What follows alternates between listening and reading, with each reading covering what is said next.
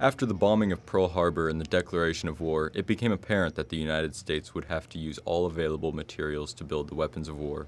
Evansville, as well as the rest of the nation, answered this call in many ways.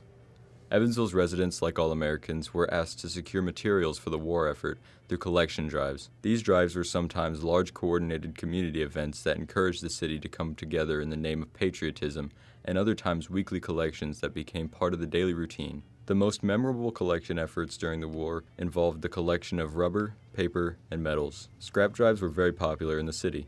The first major drive in Evansville was a rubber campaign that took place in June of 1942 with a goal of 300,000 pounds of scrap rubber by the end of the month. Scrap was to be collected at local service stations around town. Tens of tons of rubber were collected, but as Americans would find out, there was always more scrap to collect. The major scrap metal drive took place several weeks later.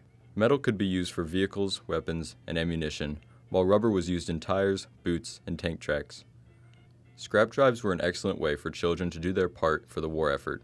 Children were encouraged to take part going door to door and finding discarded metal and rubber. They would then take these scraps to vacant parking lots that were designated for scrap piles. Scrap collection became part of the weekly school routine as well. The amount of aluminum collected by each school would be recorded, and the schools would compete against each other to contribute the most each month. Kitchen grease, which contained glycerin, was used to make explosives and was generally gathered from housewives. School children were tasked with bringing that excess grease to school for collection. Another drive that schoolchildren played a crucial role in were milkweed pod collections. Milkweed was commonly found in local fields. Students would walk through the fields before the corn was harvested, picking pods and filling large bags.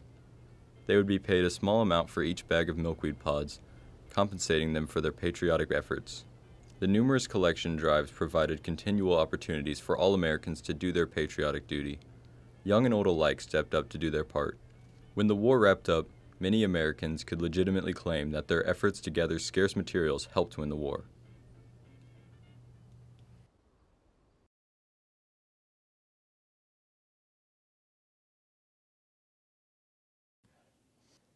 This has been an FJ Reitz Feel the History production.